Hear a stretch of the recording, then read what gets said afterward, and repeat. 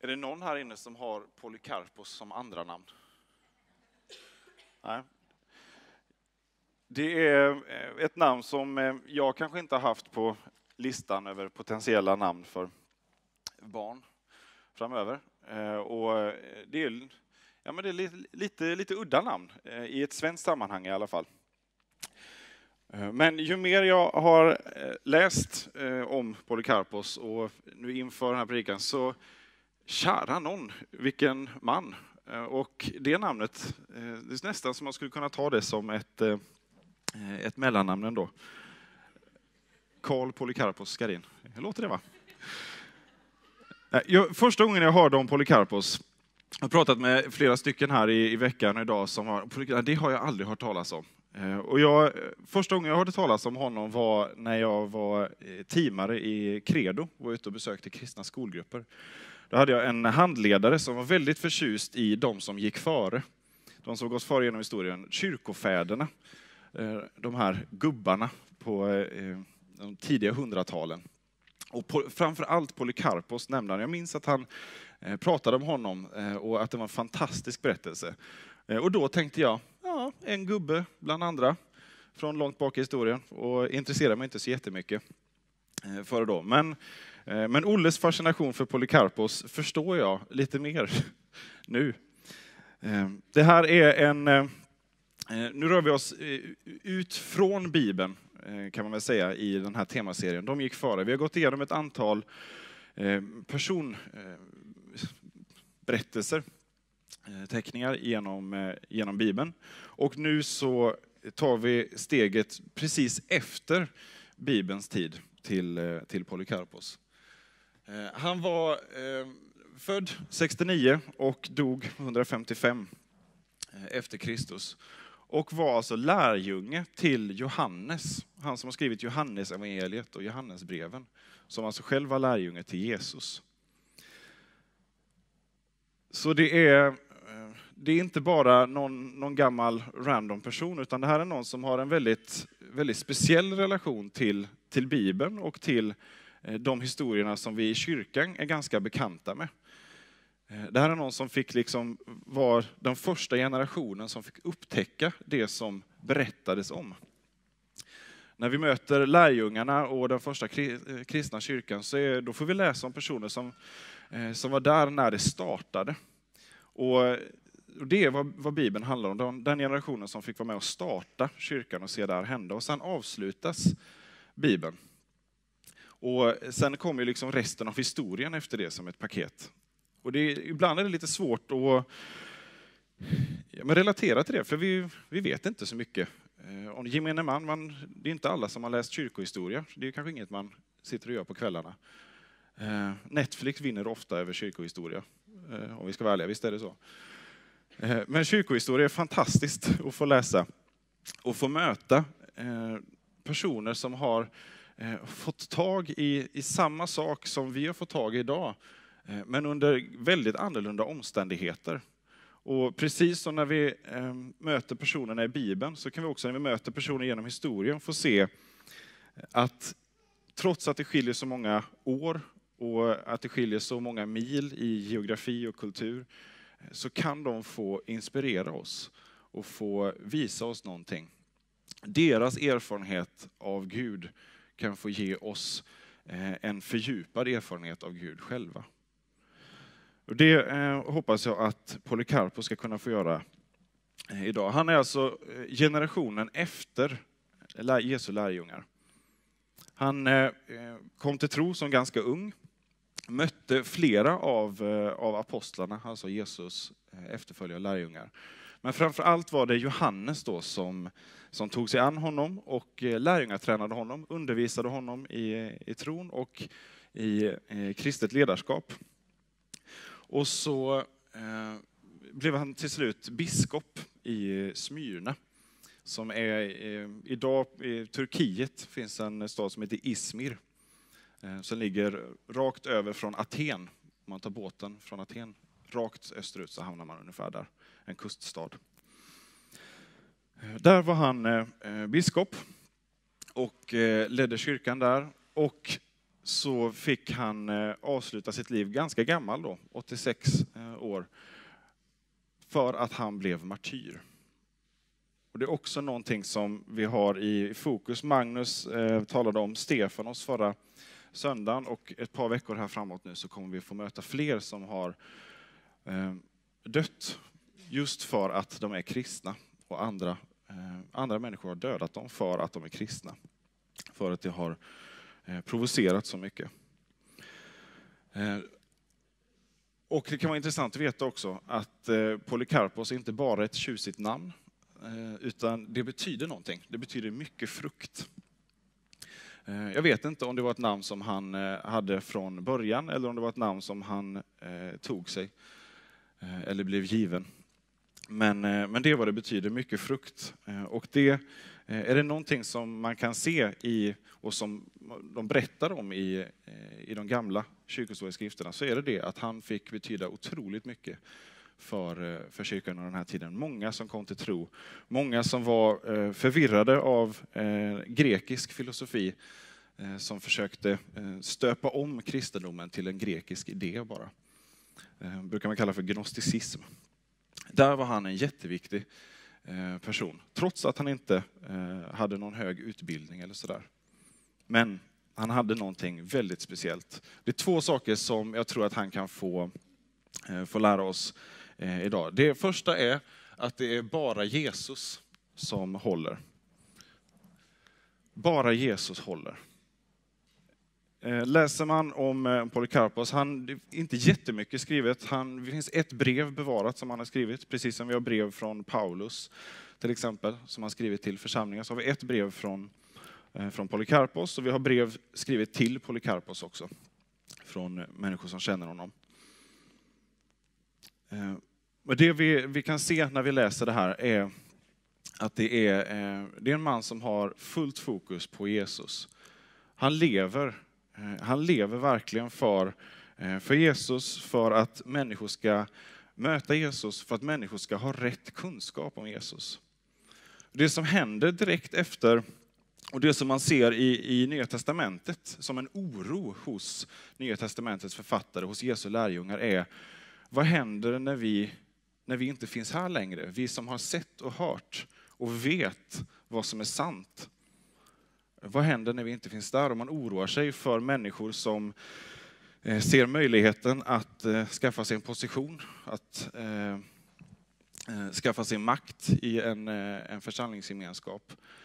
Det ser man hända redan under apostlarnas tid och den oro, vad händer sen när de inte finns kvar som garanter för, för sanningen? Här blir Polycarpos viktig för det. Han har fått ta emot från ögonvittnet Johannes själv eh, Eh, och vet eh, och kämpar för den här sanningen. Han stred mot lögner som, eh, som började röra sig och i romarriket den tiden så fanns det en mängd olika religiösa rörelser som på ja, massa olika inriktningar och grejer. Och många av dem såg hur framgångsrik kristendomen var och anammade en del av det, språk och vissa bitar och sådär, och skapade egna varianter av det, som, Eh, men som inte alls stämde med verkligheten. Så Polycarpos, han, eh, han vill visa att men det, Jesus håller och att bara ha Jesus, det håller. För det fanns många som då tog tag i, i det här med Jesus, han var en, en fascinerande person, men du måste också, eh, och så var det en, en massa tillägg och initieringsriter och krav och man skapade elitsammanhang där bara vissa fick vara med. Och det här stred Polycarpos mot eh, med fullt fokus på Jesus. Det är bara Jesus och det är bara den Jesus som är vägen, sanningen och livet som, som gäller. Det här gjorde han utan någon vidare hög utbildning, men han hade just det här. Han hade Jesus. Han hade bara Jesus. Men det räckte för att han skulle kunna eh, bemöta de mest eh, pålästa grekiska filosoferna som eh, eh, debatterade med honom i, i Smyrna och runt omkring. Han hade tränats av de som hade gått före. Det här var inte någonting som han gjorde av sig själv, utan han hade fått någonting som han hade sett håller att stå på, att tro på. Han hade fått höra och ta emot undervisning, men han hade också fått ta emot tron. En egen tro på Jesus, en egen relation. Och det här tillsammans, kunskapen som han fick av apostlarna, det som vi idag har nedtecknat otroligt praktiskt i den här boken, Bibeln. Eh, det fick han muntligt till sig och genom eh, avskriv, avskrifter och sådär. Men han fick, fick tag i det här. Vi såg att det här, är, det här håller att stå på. Men han såg också vikten av att, att hålla fast vid källorna, vid ursprunget. För det finns så många som vill säga så mycket annat om vad som är sant.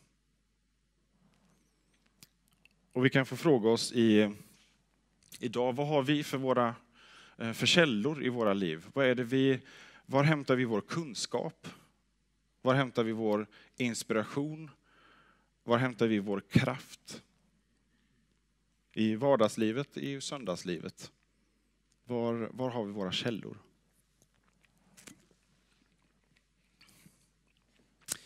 Är det känslorna för dagen som avgör det omvärldens trender? Polycarpos säger, bara Jesus. Det är bara han som håller och har som källa. Det är bara han som håller. Han som vi möter i bibelordet, som vi möter i, eh, i bönen. Polycarpos stod på Johannes och lärjungarnas vittnesmål och förde det vidare. Det som han hade fått ta emot, det var också det som han gav vidare. Han snickrade inte ihop en egen eh, idé, han snickrade inte ihop en egen teori, utan han tog emot, gjorde en egen erfarenhet av det. Och det delade han vidare till, till de som han mötte.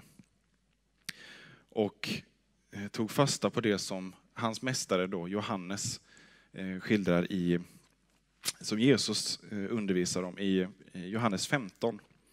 Så står det så här. Bli kvar i mig så blir jag kvar i er. Liksom grenen inte kan bära frukt av sig själv om den inte sitter kvar på vinstocken, kan inte heller ni göra det om ni inte är kvar i mig. Jag är vinstocken, ni är grenarna. Om någon är kvar i mig och jag i honom bär han rik frukt. Utan mig kan ni ingenting göra.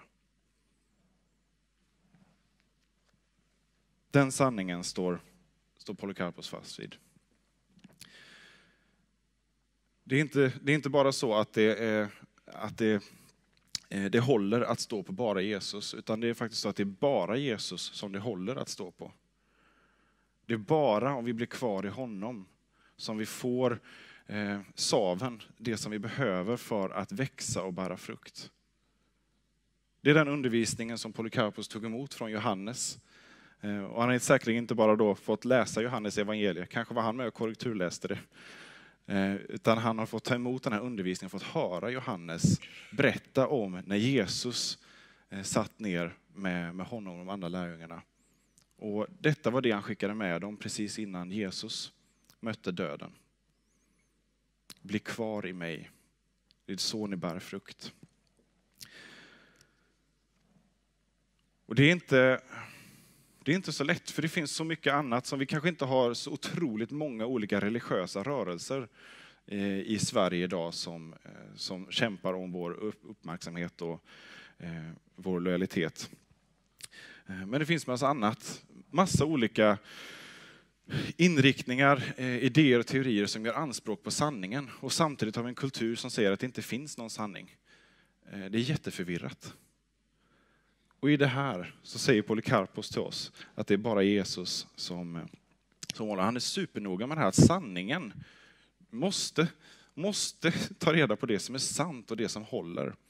Eh, och han blir helt ursinnig när han möter de här som, eh, som förvirrar kyrkan, förvirrar de kristna.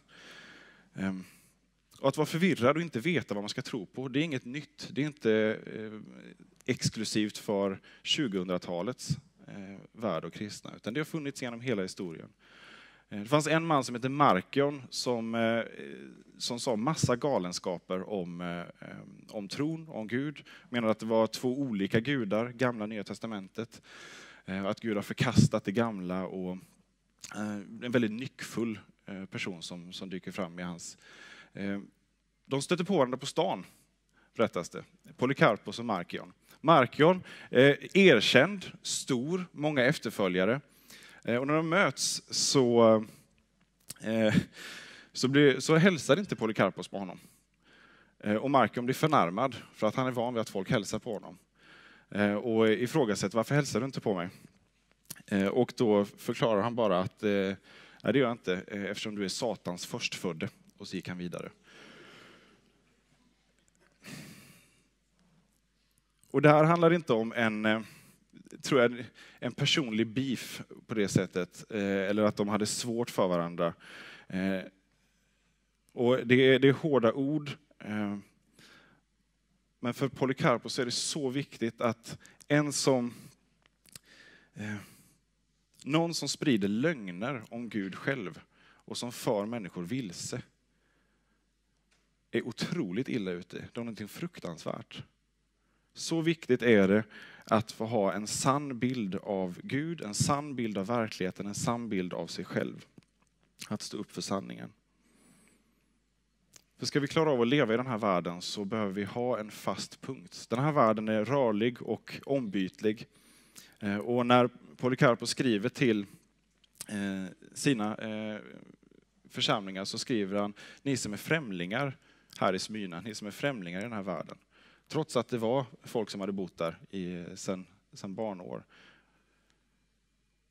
Det finns ett främlingskap gentemot eh, världen att vara kristen. Och det är någonting som vi, vi får brottas med och som inte är alltid så roligt att ta. Eh, kanske, men vi gör anspråk på en sanning som är provocerande. Och eh, är den inte provocerande så, så behöver vi fråga oss hur, hur väl vi talar om den sanningen. Världens byggen rasar. Det är bara Jesus som håller. Och en annan snarlik betoning som jag, jag ser hos Polycarpos är att det är bara Jesus som räcker. Bara Jesus räcker. Det håller att stå på tron på Jesus, men den räcker också. Den rymmer allting. Den rymmer allt vad du och jag behöver. Polycarpos blev martyr. Och eh, eh, martyrerna har man kallat för eh, evangeliets utsäde, alltså det som, eh, som gör att evangeliet, budskapet om Jesus, eh, når ut och får kraft. Polycarpos lever för Jesus, men han dör också för Jesus. Och det är, det är en viktig, viktig skillnad, en viktig konsekvens av det. Jag kan ganska, ganska lätt eh, säga att ja, men jag, jag vill leva för, eh, för Jesus. Men som Magnus ställde frågan här förra veckan, är du beredd att dö för Jesus? Ja, då blir det allvar. På ett helt annat sätt. Men ett liv som inte är värt att dö för, är det ett liv värt att leva för? Vi har miljoner med kristna syskon som lider för sin tro just nu varje år. Tusentals som dödas för att de är kristna. Vi är skyldiga dem att ta allvarligt på vår tro och på de anspråk som tron gör och som kyrkan gör. Vi är skyldiga dem det. Vi är skyldiga Polycarpos det, vi är skyldiga våra nutida syskon det. Som betalar ett stort pris för att de håller fast vid sanningen. Även när den sticker i ögonen och när den provocerar. Men vet också att det finns en stor lön. Och när man ställs inför för de här konsekvenserna, man ställs inför det oerhörda allvaret som, eh, som tron, är tron gör skillnad i livet. Vet det då. Att Jesus räcker. Jesus räcker. Han täcker för allt som behövs. Han täcker för, för varje svaghet, du har. Han täcker för varje motstånd du möter från andra människor. Från anklagelser som djävulen kommer med. Han räcker. Jag tänkte jag skulle läsa för er eh, en text där några som kände Polycarpos och som var med när han dödades berättar om hur det gick till. Eh, det här är det första martyriumet eh, som finns. Det finns många martyrium i kyrkohistorien, alltså berättelser om människor som har fått ge sitt liv för Kristus. Detta är det första efter Bibelns texter eh, som är, är skrivet. Skrivet inom ett år efter att han dog och skrivet av människor som kände honom och som var med när det hände. Och det här skriver de för att berätta om eh, vittnesbördet som det innebär, eh, hans liv och hans död. Vi skriver till er bröder om de som har blivit martyrer och om den salige Polycarpos som gjorde slut på förföljelsen när han liksom beseglade den med sitt martyrium. Saliga och ädla är alla martyrier som har skett enligt Guds vilja, så vi bör i vördnad tillskriva Gud makten över allt. Vem kan väl låta bli att beundra deras ädelmod, deras tålamod och kärlek till Herren? Några blev sönderslitna med gissel, så att man kunde se kroppens vävnader in till de inre blodkärlen. Några av dem visade ett sådant mod att de varken klagade eller suckade. De visade oss alla att då de plågade stod Herren intill dem och talade till dem. Genom att rikta sitt sinne mot Kristi nåd kunde de förakta jordiska plågor och på en enda timma köpte de sig fria från evig plåga. Den beundras eh, det beundras, eh, den beundransvärde Polycarpos, när han hörde om förföljelserna som nu kommit till Smyrna, beslöt sig för att vara kvar i staden. Flera övertalade emellertid honom att ge sig undan. Och han drog sig undan till en liten gård, men inte långt från staden, och bodde där tillsammans med några andra.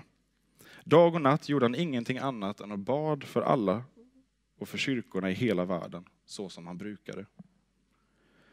Vid middagstid på fredagen gav sig poliser och ryttare med vapen fram mot honom som en rövare. När de kom fram sent på kvällen fann de Polycarpos som låg och sov i ett rum på ovanvåningen. Han kunde ha gett sig därifrån till ett annat ställe, men han ville inte. Utan han sa, må Guds vilja ske. När han hörde att de var där gick han ner och talade med dem, och de som såg honom häpnade över hans höga ålder och hans lugn. Han såg genast till att det sattes fram mat och dryck åt dem, så mycket som de önskade, och bad att de skulle ge honom tid att be ostört. De gav honom lov till det, och han reste sig uppfylld av Guds nåd och bad oupphörligen i två timmar. Så avslutade han bönen. Tiden hade nu kommit att ge sig av. De satte honom på en åsna och förde honom till staden. Han fördes till stadion, där det var ett sådant larm att ingen kunde göra sig hörd. När Polycarpos gick in på stadion kom en hög röst från himlen. Var stark Polycarpos och visa dig som en kristen man. Ingen såg den som talade, men de av de våra som var där hörde rösten. När han hade förts fram frågade prokonsuln honom om han var Polycarpos. När han hade bekräftat detta sökte han få honom att förneka Kristus och sa, tänk på din ålder och svär vid kejsarens namn. Med allvarlig blick såg Polycarpos på hela mängden av laglösa hedningar på arenan. Han sträckte ut handen mot dem, suckade, såg upp mot himlen och sa, ta bort de gudlösa. Prokonsuln ansatte honom hårt och sa, svär eden så släpper jag dig fri. Smäda Kristus. Polycarpos svarade, i 86 år har jag tjänat honom och han har aldrig gjort mig orätt. Hur ska jag kunna smäda min konung som har räddat mig? När prokonsuln fortsatte att säga svär för kejsarens namn sa Polycarpos, om du inbillar dig att jag ska svära vid kejsarens namn som du säger och låtsas att du inte vet vem jag är, så säger jag det rent ut. Jag är kristen. Om du vill veta någonting om kristendomens lära så bestäm en dag. Kom och lyssna. Prokonsuln sa, jag har vilddjur och kommer att kasta dig till dem om du inte tänker om. Polycarpos svarade, ja, men kalla på dem. För oss är det omöjligt att vända oss från det bättre till det sämre. Men det är rätt att vända från det onda till rättfärdighet. Prokonsuln sa, om du inte bryr dig om vilddjuren så ska jag se till att du blir förtärd av eld ifall du inte ångrar dig. Polikarpos sa, du hotar med en eld som brinner en stund och som sedan släcks, för du känner inte till den kommande domen och den eviga pinans eld som väntar de ogudaktiga. Varför väntar du? Gör det du vill. Medan han sa detta och annat därtill blev han uppfylld av mod och glädje, och hans ansikte lyste av nåd. Han föll inte samman av skräck inför vad, han sa, vad man sa till honom. Folkmassan samlade genast ihop ved och ris från verkstäderna och badhusen. När bålet var redo tog han av sig alla sina kläder. Han blev nu strax bunden vid den anordning som höll fast honom vid bålet. Men när man ville spika fast honom sa han, låt mig vara så här. Han som ger mig kraft att uthärda elden ska också ge mig kraft att stå lugnt kvar på bålet utan att hållas fast av era spikar. De spikades inte fast honom utan band honom. Sedan såg han upp mot himlen och sa, Herre Gud, allhärskare, fader till din älskade och välsignade tjänare Jesus Kristus. Genom honom har vi fått kunskapen om dig som är Gud över änglarna och makterna över hela skapelsen. Jag prisar dig för att du har gjort mig värdig denna dag och stund då jag får räknas till martyrerna och får dricka din smorders bägare, för att med kropp och själ uppstå till evigt liv i den heliga Andes oförgänglighet. Därför lovar jag dig för allt, jag prisar dig. Jag ärar dig genom den evige och himmelske översteprästen Jesus Kristus, din älskade tjänare. Genom honom tillkommer dig ära, med honom och den heliga Ande, nu och i de kommande tidsåldrarna. Amen. Och när han hade sänt upp sitt amen och avslutat bönen tändes elden och de som skötte den. Och vi åt vilka det var givet fick se ett under. Elden tog formen av ett valv och omslöt martyrens kropp lik ett segel som fylls av vinden. Och i mitten var det inte som brinnande kött, utan snarare som bröd som blir gräddat, eller guld och silver som blir glödgat i ugnen. Och vi kände en vällukt som av doftande rökelse eller av kostbara kryddor. När de laglösa såg att han inte kunde förtäras av elden befallde de skarprättaren att gå fram och stöta en dolk i honom. När han hade gjort detta kom det ut så mycket blod kring skaftet att elden släcktes. Honom som är Guds son tillber vi, men martyrerna älskar vi som Herrens lärjungar och efterföljare, så som de är värda genom sin oöverträffliga hängivenhet för sin konung och lärare. Det var Polycarpos lärjungars vittnesmål av vad de fick se och höra.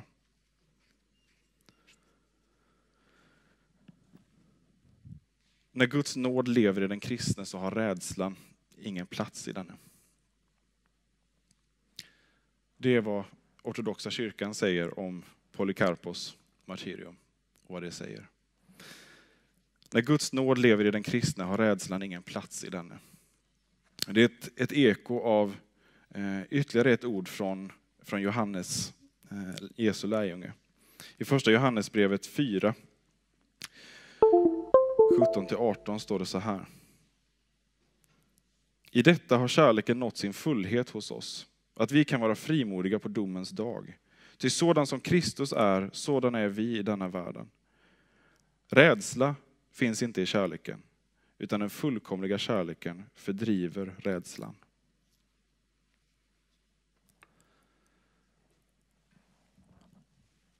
Vår värld erbjuder inte eh, bara en massa eh, påståenden, påståenden, anspråk och sanningar som är falska, utan erbjuder också en mängd falska tryggheter. Eh, och som Marie-Louise Nilsson som jobbar där innan brukar säga, vi, vi svenskar vi är trygghetsnarkomaner.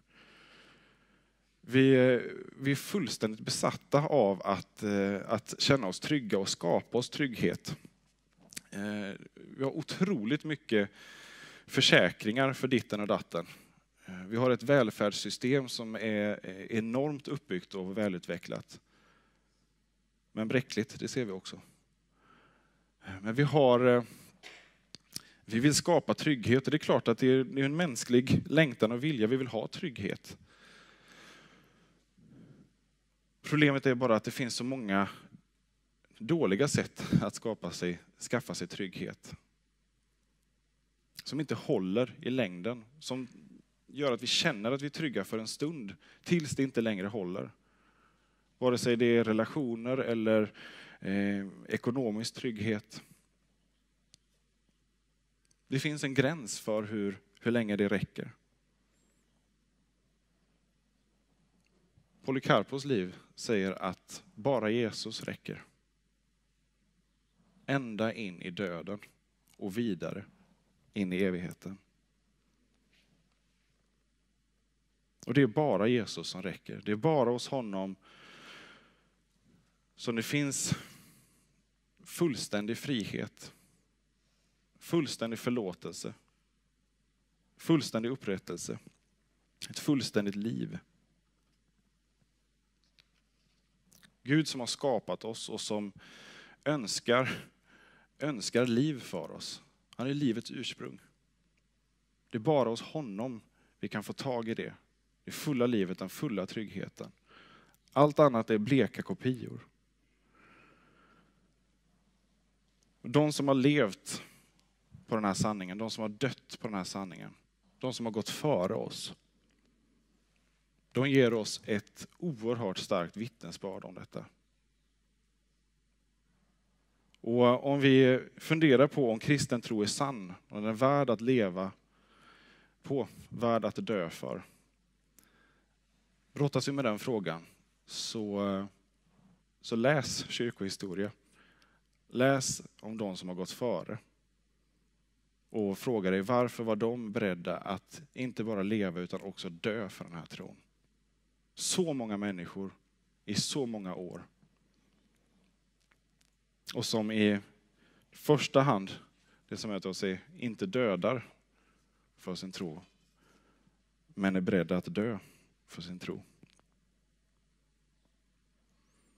Låt det här få bli vår bön och vår längtan också som kyrka. Att vi predikar en tro, talar om en tro, lever ut en tro som eh, inte bara är ett, eh, ett intresse, en teori eller en idé, utan ett liv som vi är beredda att leva, men som vi också är beredda att dö för. Vill vi återspegla Guds hjärta som kyrka, så innebär det hela livet, också döden. Ett helt liv med Gud. Oavsett vilken framtid som, som möter oss.